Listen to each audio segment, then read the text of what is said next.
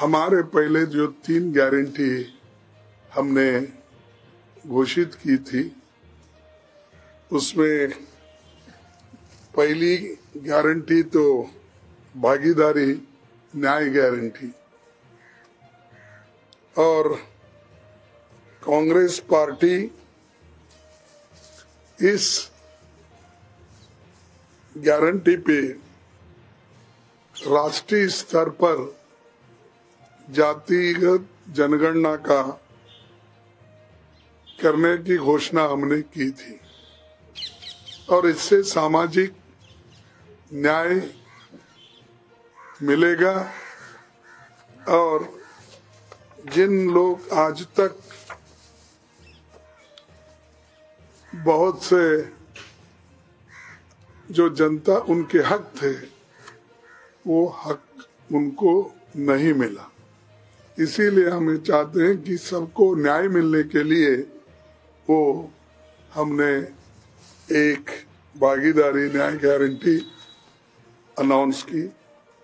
दूसरी जो है, दूसरी गारंटी किसानों के लिए एमएसपी का हमने अनाउंस किया और ये फ़सलों की एमएसपी गारंटी खरीदने का कानून हम बना रहे हैं, इसको लीगलाइज कर रहे हैं, ये एक हमारी गारंटी है। और तीसरी गारंटी युवा न्याय गारंटी जो युवाओं के लिए हम खास करके जो एम्प्लॉयमेंट में उनको जगह नहीं मिल रही है और 45 साल में इतना बहुत बड़ा अनएम्प्लॉयमेंट इस देश में हुआ है और उसके लिए सरकार जिस ढंग से इसको, इस समस्या को सुलझाना चाहिए था, वो सुलझा नहीं सके। और बहुत सी बातें करके उन्होंने इसको निपटाने की कोशिश कर रहे हैं। तो एक भर्ती भरोसा जिसका निर्णय हमने लिया, वो एक खास है, जो खाली जगह है। जल्द से जल्द हमारी सरकार आने के बाद इसको भी हम भरेंगे, और जितने भी वैकेंसीज है वो अगर हम भरे तो एक पक्की नौकरी सबको मिलेगी। इस दृष्टि से ये भर्ती भरोसा एक और जो पक्की नौकरी, ये जो है, खास करके युवाओं में बहुत से जगह स्किल डेवलपमेंट नहीं है। अप्रेंटिसशिप कोर्स को पीछे ढकल दिया गया है। 1961 में जो अप्रेंटिसिप एक कोर्स हमेशा हर इंडस्ट्री में होता था, उसको स्टाइफंड भी देते थे। और जैसा जीएसटी, सॉरी, जीटीटीसी, जीएसटी आधारित रही बहुत तो उसकी मार बहुत गिरी हमको इसलिए तो जीटीटीसी जो इंडस्ट्रीज़ डिपार्टमेंट के ओर से एक साल के लिए ट्रेनिंग दिया जाता है, उसको उनके ऊपर कम से कम एक लाख रुपए खर्च किया जाता है। वो स्कीम को हम मज़बूत बनाएँगे। ये पहली नौकरी पक्की ये युवा न्याय गारंटी के तहत ही ये हम करेंगे। इसके अलावा और एक घोषणा अभी हमने किया है। आज नंदुरबार में जो गारंटी हमने सुबह यहाँ से लिख के भेजी थी, वो वहाँ पर पब्लिक मीटिंग में उस गारंटी का अनाउंसमेंट राहुल गांधी जी ने किया है तो वो गारंटी है कि आदिवासी न्याय गारंटी आदिवासियों को न्याय देना, ये हमारा पहला कर्तव्य है और उनको सताया जा रहा है, उनकी ज़मीन छीनी जा रही है, उनको फॉरेस्ट से बाहर निकाला जा रहा है, उनको उनके ऊपर इतने क्रिमिनल केसेस हो रहे हैं और उसके अलावा हरेसमेंट हो रहा है। वहाँ महिलाओं का रेप होता है, बच्चियों का रेप होता है, कोई पूछने वाला नहीं है। बॉन्डेड लेबर उनको ट्रीट किया जाता है। बहुत से आदिवासी लोगों को वो बाउंडेड लेबर के तहत वो बाहर ले जाते हैं माइग्रेंट वर्कर्स के तहत, ले जाके उनके सालों से रख लेते हैं। इन चीज़ों को हम, इन चीज़ों से छुटकारा पाने के लिए उनको हम इन आदिवासी न्याय गारंटी दे रहे हैं।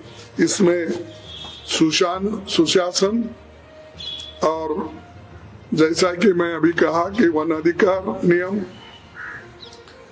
और इनके लिए एक केस अभी स्पेशल बजट तो है, लेकिन कोई इम्प्लीमेंट नहीं करता। S C S T special component plan ये कानूनी देना चाहिए, लेकिन बहुत से जगह ये देते नहीं। जैसा कि इसके लिए पहला कदम तेलंगाना, आंध्रा जो वाईएसआर थे, उन्होंने एस सब प्लान करके जितनी पॉपुलेशन है, उसी तरह उनको एक सब प्लान करके उनके लिए ही वो पैसा खर्च किया जाता है। और उन्हीं के लिए प्रोग्राम्स बनाए जाते हैं उस बजट से। अगर बजट उस वक्त साल खर्च नहीं हुआ तो लैप्स नहीं होता, वो आगे के साल उसको ले जाया जाता है। तो ये बहुत बड़ा कदम है, इसको हम सख्ती से जहाँ जहाँ हमारे स्टेट रहेंगे, वहाँ पर भी करेंगे, और केंद्र सरकार में भी जितनी आज सोशल वेलफेयर में इतनी बजट होती है कि नाम के वास्ते रख रहे हैं। स्कॉलरशिप नहीं मिल रहा बच्चों को टाइम पे। हॉस्टल का फ़ीस भरने के लिए जल्दी पैसे देते नहीं। और जिन जगह प्राइवेट हॉस्टल में रहते हैं, उस हॉस्टल में उनको जो खाने के लिए पैसे, बोर्डिंग, लॉजिंग का पैसे जो भेजना है, वो भी वक्तिया भेजते नहीं। उसी लिए बहुत से जगह बच्चों को जो वो कोर्स कर रहे हैं, उनको बाहर निकाला जाता है। और 50 परसेंट बच्चे मोर और लेस इस वजह से आधे में अपना शिक्षण खत्म करते हैं। तो इसीलिए ये हम राष्ट्रीय स्तर पर भी एस का बजट और स्पेशल कंपोनेंट से उनको दिलाने की पूरी कोशिश करेंगे। और दूसरा मोदी सरकार द्वारा ये जो वन की रक्षण, यानी फॉरेस्ट से, सेफगार्ड, यानी फॉरेस्ट को सुरक्षित करना है, ये नहीं हो रहा। वो बहुत से जगह इंडस्ट्रीज़ को देखकर बड़े बड़े जो क्रोनी कैपिटलिस्ट उनके चाहते हैं, उनको देखकर आज पूरा फॉरेस्ट खत्म कर रहे हैं। उससे बारिश भी कम हो रही है। उससे जो लोग फॉरेस्ट के अंदर थे, वो लोग एक एक करके बाहर आ रहे हैं। और ज़मीन भी जो इनके कब्जे में थी, वो भी उससे छुटकारा हो रहा है। तो उसको मज़बूत बनाने के लिए कि उनके साथ ही रहे ज़मीन, जंगल और ज़मीन जंगल और उनका और एक वर्ड है जल जल, जल। सॉरी पानी। तो ये तीनों का रक्षण करना हम ज़रूर हमारा ये मुख्य मुद्दा रहेगा और उनको रक्षण करने के लिए पूरी कोशिश हम कानून के तहत करेंगे और उनकी हिफाजत करेंगे। और एक विशेष ये है कि जो पैसा, जो पहले से ये कानून है, इस कानून के तहत ये पंचायत में इसको ग्राम सरकार हम बोलते हैं, लेकिन उनको जो अधिकार वहाँ मिलना है, वो नहीं मिलता। तो इसलिए उनको मजबूती से जो कानून के तहत हमारे विलेज पंचायत है, तालुका पंचायत है, जिला पंचायत लेवल में उसकी मजबूती हम लाएँगे एक हमने उन, उसी गारंटी में ये रखा है। और पांचवी ये, उसमें ये है कि ये जो हमारे आदिवासी न्याय केस में कांग्रेस पार्टी द्वारा ये लाए जाने वाले एमएसपी का अधिकार जो कानून है और उसको जो कानूनी दर्जा देगा वो छोटे वन उपज वालों को भी कवर करेगा। यानी छोटे मोटे जितने भी फॉरेस्ट है या ये है उसको भी उत, उसी तरीके से हम हिफाजत करेंगे जैसे एमएसपी के लिए हम गारंटी दे रहे तो जो भी फॉरेस्ट एरिया में उगते हैं, जो भी उत्पन्न होता है, उसके लिए भी हमें अपना कानून बनाएँगे। ये चीज़ें हमने कर रहे हैं और इसके बाद फिर गारंटी और भी है। वो हो सकता है कल और परसों भी हम गारंटीज अनाउंस करेंगे। फिर आखिरी में जो मुंबई में हमारी अंत यानी समाप्त सभा होगी और उसमें ये सारी चीज़ें वहाँ पर लाकर हम बोलेंगे और आप सभी को धन्यवाद देता हूँ क्योंकि ये जो चीज़ें हम कर रहे हैं, आपके सामने रखे हैं, इसीलिए आप जो बहुत ही देर हो गई तो भी आप बैठकर हमारे प्रेस कॉन्फ्रेंस को महत्व दिया, इसलिए आपको भी धन्यवाद देते हुए मैं अपने बात को खत्म करता हूँ।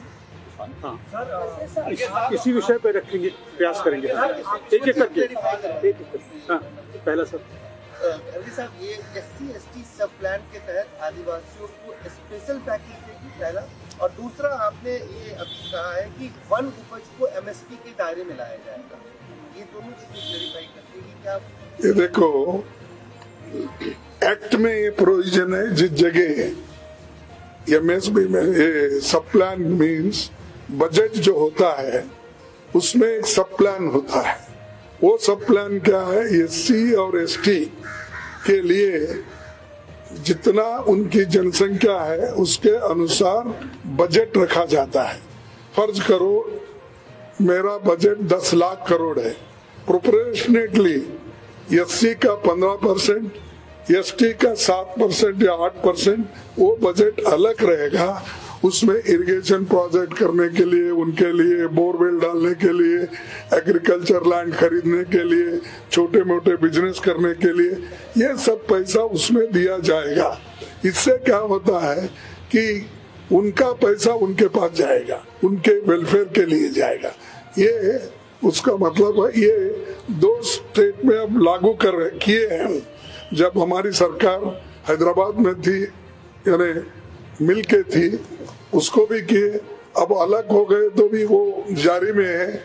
और तीसरा क्या कर्नाटक में। कर्नाटक में भी ऑलरेडी अब जो बजट बनते हैं हमारे अब छह सात साल से वो बजट में भी हम ये सब प्लान का रखे। दूस, दूसरी चीज़ आपने जो पूछी कि जैसा आप एम का गारंटी है वैसा ही वहाँ जो फॉरेस्ट आइटम्स है उसको भी हम नोटिफाई करेंगे। जैसा अब तेईस आइटम पे हम गारंटी देते हैं, यानी एमएसपी देते हैं, वैसा ही वहाँ पर जो लोगों की डिमांड है, उन चीज़ों को हम नोटिफाई करके उसी आधार पर उनका जो मिनिमम सपोर्ट प्राइस है वो देंगे। मोहित एक एक करके एक मोहित। मेरा सवाल आपसे ये है कि अभी आपने कहा कि नौकरी की गारंटी पक्की नौकरी की गारंटी आप देंगे।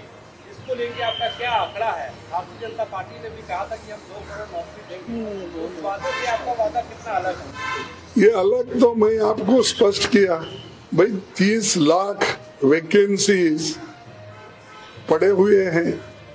वो अर्धसैनिक में हो या अपने पुलिस में हो, रेलवे में हो, एलआईसी में हो, ऐसे बहुत से सब आंकड़े अगर आप निकाल लेंगे तो 30 लाख वैकेंसीज है। अब उसको ये लोग भर्ती नहीं कर रहे हैं। इसीलिए भर्ती नहीं कर रहे हैं। अगर वो भर्ती करेंगे तो उसमें 50 परसेंट रिजर्वेशन जाएगा। और 50 परसेंट रिजर्वेशन गया तो किसको जाएगा?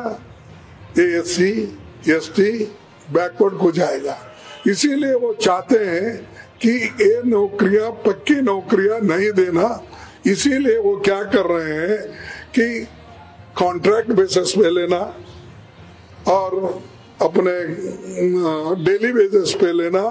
लेकर उनको नौकरी आज चढ़ा रहे। तो उसमें क्या होता है? कहीं उनको प्रोविडेंट फंड नहीं मिलता ईएसआई नहीं मिलता। कोई और जितना भी उनको अपने जो भी है, क्या हॉस्पिटल फैसिलिटीज़ नहीं मिलते? ऐसे चीज़ें हैं, बारीक चीज़ें। तो उसको हम क्या कर रहे हैं कि जितने सरकारी वैकेंसीज है, वो तो पहले भरो। दो करोड़ का तो दो करोड़ के हिसाब से अब तो बीस करोड़ देना था मोदी साहब। कहीं दिए क्या? अगर मैं बोलूँ तो आप कोई छपते भी नहीं, क्योंकि वो झूठ बोल रहे बोले तो ये क्यों ऐसा खरगे साहब बोले बोलते? अरे उन्होंने खुद ही बोले सो है दो दो करोड़ नौकरियाँ दूँगा। दस साल में तो बीस करोड़ नौकरियाँ होना था। ये नहीं दिए। अगर मैं जनता से पूछता हूँ तो मेरे को रिस्पॉन्स आता है। क्या बोल के नहीं बोलते? तब मैं पूछता हूँ, क्या मोदी साहब झूठे हैं? क्या आप नौकरियाँ लेके आप झूठ बोल रहे हैं? तो तो ये है। तो और उसके बाद पंद्रह लाख का भी वैसा ही बोले उन्होंने ये सब जुमले हैं बोल के खुद ही एडमिट करते हैं। लेकिन फिर भी भारी मात्रा में, भारी इसमें प्रचार उनका होता है। बहुत कुछ किए बोल के। इसलिए मैं उसमें नहीं जाना चाहता हूँ। आज का जो विषय है उस पर सीमित रहूँगा उतना ही बोल के।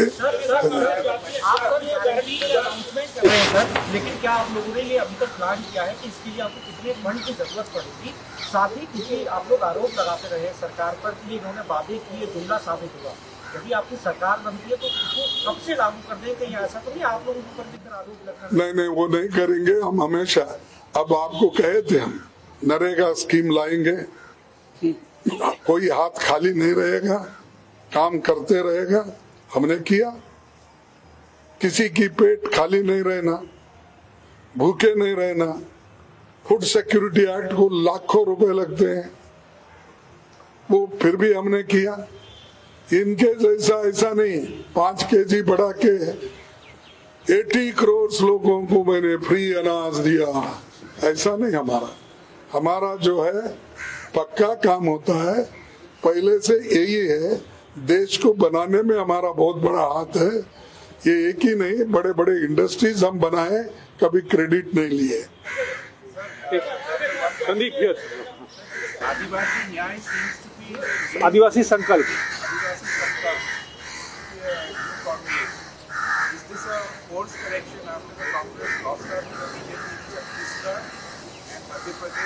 संकल्प।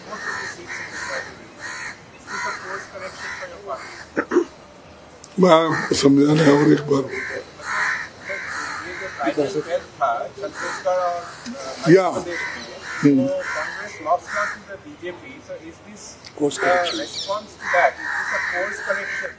वैसा नहीं no it is not like that we really our intention is to remove the poverty.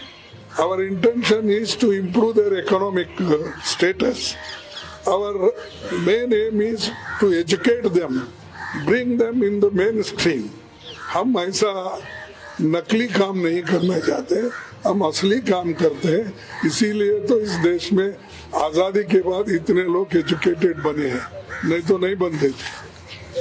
Pradeep right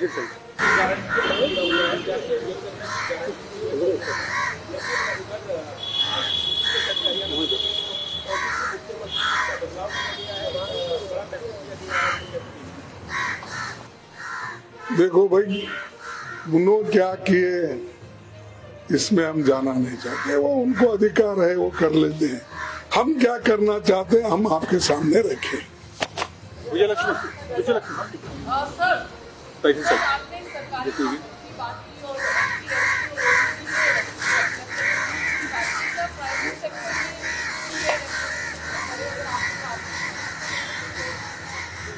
तो हम हमारा सोच तो है जो प्राइवेट सेक्टर में इसको अप्रोप्रिएट पोजीशन उनको पोजीशन मिलना चाहिए, इसके लिए हम ज़रूर कोशिश कर रहे हैं। इसीलिए तो अप्रेंटिसशिप हर महीना उनको आठ हज़ार पाँच सौ रुपए देकर ट्रेनिंग दे रहे हैं।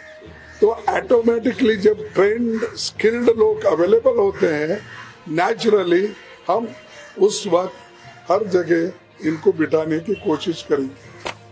थैंक यू लास्ट वन हाँ बोलिए। आप लोग आदिवासी संसद की बात कर रहे हैं आप लोग तमाम योजनाएँ लेकर के आ रहे हैं कि हम आएँगे तो लाएँगे। लेकिन प्रधानमंत्री मोदी को जब जब मौका मिलता है चाहे संसद में हो चाहे रैलियों में हो वो कांग्रेस को हमेशा आदिवासियों की जंगलात विरोधी बताते देखो ये उन्होंने खुद विरोधी हैं और कौन से उसूलों पे विश्वास रखते हैं आप बोलिए। उनकी आइडियोलॉजी कौन सी है? बेसिक आरएसएस और मोदी जी की। ये मुझे बताओ। ये चुप आँसू बहाने से नहीं होता, या किसी को किसी कुर्सी पे बिठाने से वो काम नहीं होता। उनके लिए लड़ना पड़ता है। लड़े सो वाले हमारे लोग हैं, और देश को संविधान बनाने वाले इसकी सभी इन सब बातों को उसको लेके ही अब आगे बढ़ रहे हैं। अब आप कुछ भी कहते हो इनको मैंने राष्ट्रपति बनाया उनको मैं प्रधानमंत्री बनाया ये नहीं।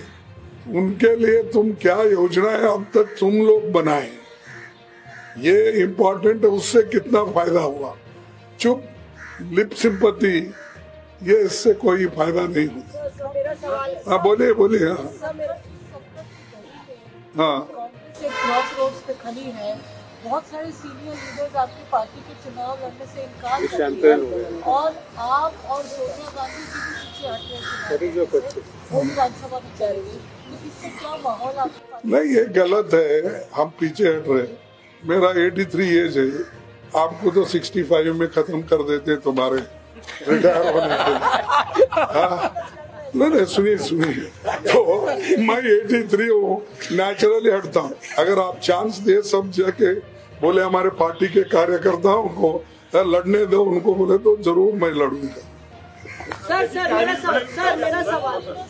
सर नहीं नहीं नहीं देखो कभी पीछे होते हैं कभी आगे होते हैं उसी सीट पे दस लोग मांगने वालों का भी लिस्ट है हमारे पास।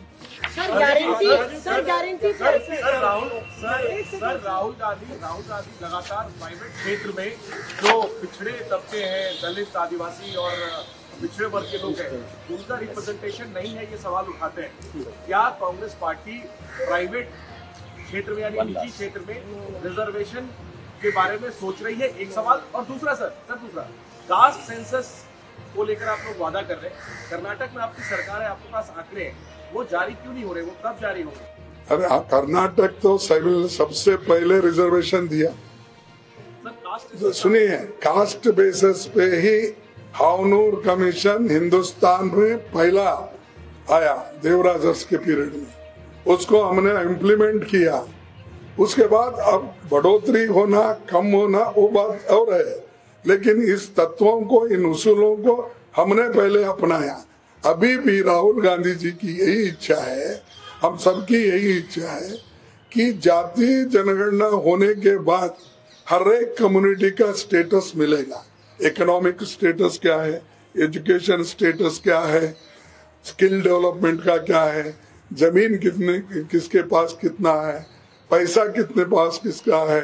इनकम टैक्स देने वाले कितने लोग? ये सब बाहर आएगा। उस वक्त आपका जो प्रश्न है, उसका उत्तर मैं ज़रूर दूँगा। सर सर, मोदी की गारंटी गारंटी आप भी कर रहे हैं लगातार रेडियो पर और रैलियों में मोदी की गारंटी प्रधानमंत्री नरेंद्र मोदी कह रहे हैं। तो गारंटी किसने किसकी हाईजैक की है और किसकी गारंटी ज़्यादा मज़बूत है? कांग्रेस गारंटी बना मोदी गारंटी देखो आप गलत प्रश्न मुझे पूछ रहे मेरी गारंटी तो चोरी कर ली है उन्होंने। मैं तो मैं तो शुरू किया कर्नाटक में जीती इलेक्शन उसके बाद में हमने एक आंध्र प्रदेश में किया। ते, सॉरी तेलंगाना में। ये जो हमने गारंटी गारंटी बोल के की है वो मोदी साहब ने हमारी गारंटी को उन्होंने चोरी कर लिए के बोल रहे हैं ये हमारी गारंटी चलिए। Thank you